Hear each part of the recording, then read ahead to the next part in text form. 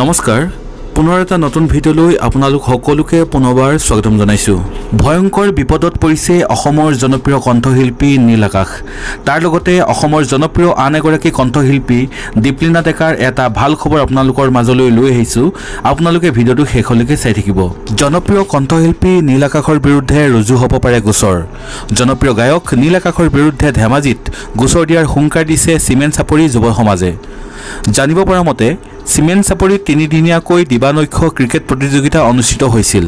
আৰু সেই প্ৰতিযোগিতাৰ সামৰণিৰ দিনাই গীত পৰিৱেশন কৰিবলৈ আয়োজক কমিটিয়ে চুক্তিবদ্ধ হৈছিল জনপ্ৰিয় গায়কগৰাকীৰ লগত। কিন্তু নৈশ বহু দেৰিলৈকে দৰ্শক অপেক্ষা কৰি থকাৰ পিছতো অনুষ্ঠানলৈ নগ'ল কণ্ঠশিল্পীগৰাকী। আনহাতে কণ্ঠশিল্পী নীল আকাশে সেই অনুষ্ঠানলৈ নগৈ অন্য এটা সংগীতানুষ্ঠানত গীত পৰিৱেশন কৰাৰ অভিযোগ উঠিছে। তাৰ পাছতেই চিমেণ্ট চাপৰি যুৱ সমাজে নীল আকাশৰ বিৰুদ্ধে গোচৰ ৰুজু কৰাৰ সকিয়নি দিছে। তেওঁলোকে কয় যে ৰাইজৰ বাবেই তেওঁ আজি নীল আকাশ হ'ব পাৰিছে আৰু সেই ৰাইজকে প্ৰতাৰণা কৰি নীল আকাশে অক্ষমনীয় অপৰাধ কৰিছে।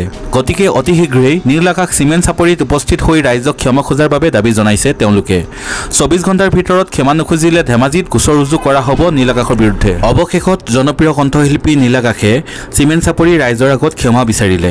আমি চাওঁ আহক সেই বিশেষ ভিডিঅ'টি।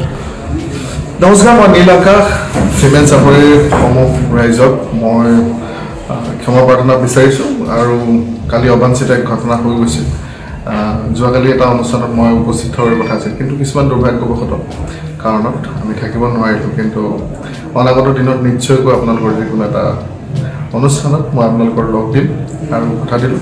খুব সোনকালে আপোনালোকক লগ পাম। এইবাৰ আহিছোঁ অসমৰ আন এগৰাকী জনপ্ৰিয় কণ্ঠশিল্পী দীপলিনা ডেকাৰ ভাল খবৰটিলৈ। দীপলিনা ডেকাৰ যিটো ইনষ্টাগ্ৰাম একাউণ্ট আছে সেই একাউণ্টটোত বৰ্তমান ওৱান মিলিয়ন ফলোৱাৰ্ছ পাবলৈ সক্ষম হৈছে। ওৱান মিলিয়ন ফলোৱাৰ্ছ অতিক্ৰম হোৱাৰ বাবে দীপলিনা ডেকাই কেক কাটি কৰিলে চেলিব্ৰেশ্যন আমি চাওঁ আহক সেই বিশেষ ভিডিঅ'টি।